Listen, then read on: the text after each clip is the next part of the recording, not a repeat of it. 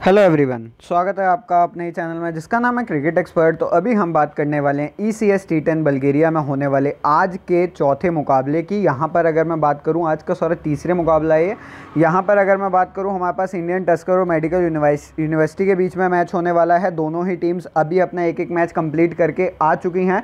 यहाँ पर एक चीज़ मैं आपको बता दूँ टस्कर अपना पहला मुकाबला हार कर आ रहे हैं और यहाँ पर अभी जो चल रहा है वो मेडिकल यूनिवर्सिटी सोफिया का मैच चल ही रहा है। वहाँ पर देखते हैं क्या होता है, क्या नहीं होता है। अपडेटेड वैसे अब तो कुछ अपडेट नहीं है। ये फाइनली जी टीम है मेरे पास।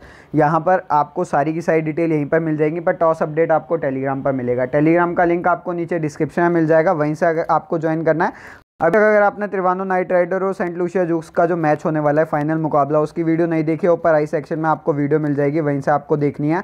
आपके लिए बहुत बढ़िया, बहुत इंपॉर्टेंट वीडियो है और वहाँ पर आपके लिए डिटेल भी लेकर आऊँ और गिव अवे जो हो सकता है, वो भी मैं आपके लेकर आऊँ तो वो आपको वहाँ पर देखना है। ऊपर आई सेक्शन में आपको वीडियो मिल जाएगी। अगर आप चाहो तो वैसे मैं इनके स्टैट्स भी पिछले पिछले मुकाबले के दिखा सकता हूँ, अभी मैं आपको दिखा देता हूँ, पर आज के दिन का कोई भी नहीं है, उससे पिछले जो कल से, जो कल तक के मैचेस इनके कंप्लीट होते हैं, वहाँ के ही हैं। पिछले एक मैच का इंडियन टस्कर का वो नहीं है, जो आज अभी इनका कंप्लीट हुआ।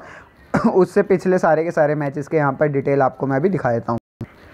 यहाँ पर मेडिकल यूनिवर्सिटी की अगर आप बात करो, यहाँ पर आप सारे के सारे स्टेट देख सकते हो। विपिन गतरपुर आपके पास एक इंपॉर्टेंट पिक रहने वाला है। उसके बाद निखिल ओलिवरिया आपके पास है, शांडी सिल्वा है, यहाँ पर केविन डिसूजा हैं। ये सारे के सारे प्लेयर आपके पास बढ़िया आप पिछले रिकॉर्ड देखना चाहो, यहाँ पर देख सकते हो। अभी मैच चल ही रहा है। उसकी भी अगर मैं बात करूँ तो यहाँ पर अभी बैटिंग ये बैटिंग ही कर रहे हैं चेस कर रहे हैं ओलिवरिया और यहाँ पर ईशान डी सिल्वा दोनों प्लेयर्स यहाँ पर अभी बॉल बैटिंग कर रहे हैं। यहाँ पर अगर मैं बात करूँ, दो विकेट इन्हें चटकाई हैं यू डॉन्स की।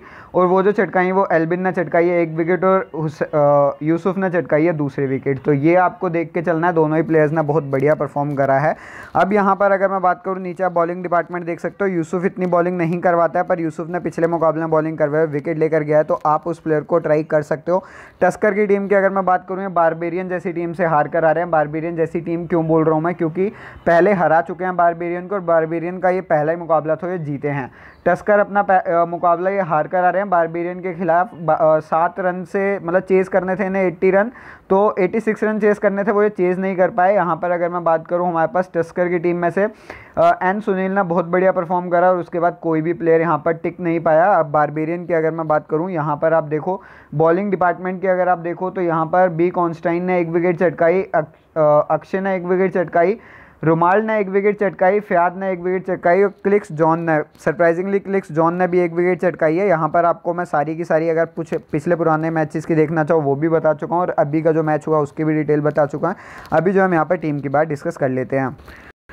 टीम की बात डिस्कस करने से पहले, जिन भाई ने अब तक टेलीग्राम चैनल ज्वाइन नहीं करा टेलीग्राम चैनल ज्वाइन कर लो। जिन भाई ने अब तक वीडियो लाइक नहीं करी चैनल सब्सक्राइब नहीं करा, दोनों काम कर लो, क्योंकि ऐसी वीडियोस और भी आती रहेंगी आपके लिए इस चैनल पर। ऊपर आई सेक्शन में आपके पास ठीक है और एस एल जेड का जो फाइनल मुकाबला होने वाला है, उसकी वीडियो आपको मिल जाएगी। वहाँ पर आपको, आप जाकर देखोगे, बहुत मज़ा आ जाएगा, क्योंकि छोटी वीडियो प्लस आपको सारी की सारी डिटेल बताई हुई है उस वीडियो में।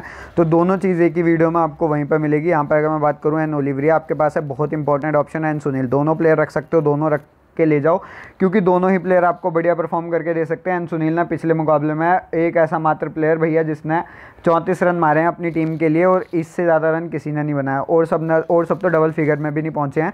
यहाँ पर अभी के लिए नो लिवरिया अभी देखता हूँ ऑलराउंडिंग सेक्शन में अगर मैं ड्रॉप करना चाहूँ किसी को तो आई डी सिल्वा एक इंपॉर्टेंट पिक ये हम ड्रॉप नहीं कर सकते हैं। फिर उसके बाद के डिसूजा।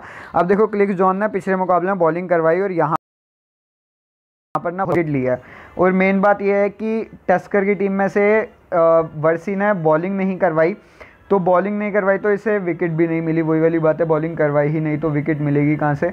एक ओवर करवाया, उसमें पंद्रह रन इसने दिए। तो उस हिसाब से मैं जॉन को लेकर जा रहा हूँ। क्रिक्स जॉन को रिस्क हो सकता है मेरे लिए, पर मैं रिस्क ले रहा हूँ इसके साथ। अब यहाँ पर अगर मैं बात करूँ, बी गतरपुर बहुत इंपॉर्टेंट ऑप्शन है, फिर उसके बाद ए हरी कुमार एक इंपॉर्टेंट है।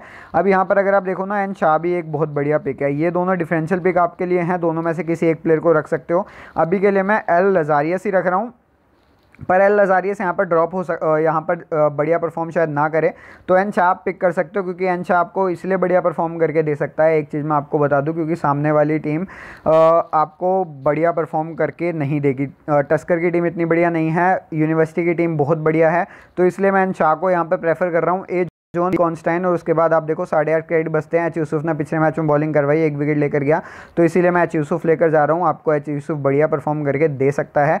यहाँ पर डी विनू अगर आप ट्राई करना चाहो, अगर रख सकते हो तो रख पा, रख लो। वो आगे ऑप्शन है कि रह सकता है। कैप्टन वाइस कैप्टन की अगर मैं बात करूँ, यहाँ पर आपके पास फयाज मोहम्मद एक बहुत बढ़िया ऑप्शन रह सकता है। वाइस कैप्टन यहाँ पर, एन ओली पहले बैटिंग कर जाती है टीम। यहाँ पर मैं आपको बताऊँ टॉस अपडेट आपको टेलीग्राम पर मिल जाएगा। टेलीग्राम का लिंक आपको नीचे डिस्क्रिप्शन में मिल जाएगा। यहाँ पर सबसे पहली टीम जो मैं आपके लेकर आया था, Fayaz Mohammad as a captain और vice captain I D Silva, फिर उसके बाद एन ओलिवरिया के डी सूजा, बी बेंजामिन, फिर उसके बाद बी गतरपुर, आर लजारियस, फिर उसके बाद A Hari Kumar A Jacob, D Vinu और उसके बाद बी कॉन्स्टाइन। पूरी की पूरी टीम हमें बहुत बढ़िया परफॉर्म करके देगी। Small league small grand league में स्मॉल लीग में भी अगर आप ट्राई करना चाहो, कर सकते हो, पर स्मॉल लीग में। बी बेंजामिन की वजह से ये टीम रिस्की हो जाएगी, पर अगर आप स्मॉल गैंड लीग में ट्राई करना चाहो, वहाँ पर कर सकते हो, वहाँ पर आपको बहुत बढ़िया परफॉर्म करके दे सकती है ये टीम दूसरी टीम की अगर मैं बात करूँ प्योरली ग्रैंड लीग की टीम है, यहाँ पर B गतरपुर as a captain vice captain यहाँ पर ए हरी कुमार फिर उसके बाद आई डी सिल्वा के डिसूजा एंड वारसी फिर उसके बाद N olivary and Shaif F Mohammad फिर उसके बाद ए जैकॉब एच यूसुफ उसके बाद बी कॉन्स्टेंट पूरी की पूरी टीम हमारे लिए ग्रैंड लीग फेवरेबल है। तीसरी और आखिरी टीम जो आपके टीम है। कैप्टन यहाँ पर अगर आप वाइस कैप्टन है कैप्टन रखना चाहो, वी गतरपुर को भी रख सकते हो। बहुत एक इंपॉर्टेंट पिक के डी सूजा और यहाँ पर आई डी सिल्वा ये प्लेयर भी आपके लिए कैप्टन वाइस कैप्टन के लिए बहुत बढ़िया पिक है। डिफरेंशियल पिक अगर आपको यहाँ पर समझ नहीं आया वो मैं आपको टेलीग्राम पर प्रोवाइड करवा दूँगा। अपडेटेड टीम तो वैसे अब अपडेट तो कोई नहीं होगा, पर टॉस अपडेट आपको टेलीग्राम पर मिल जाएगा। अगर आपने सी का फाइनल मुकाबले की वीडियो नहीं देखी, आपको ऊपर आई सेक्शन में वो भी मिल जाएगी, वहाँ से आप देख सकते हो। इस वीडियो के लिए बस इतना ही। चैनल सब्सक्राइब कर लीजिएगा वीडियो लाइक कर दीजिएगा बेलाइकन दबा दीजिएगा, क्योंकि ऐसी वीडियो ज़रूर भी आती रहेंगी आपके लिए इस चैनल पर।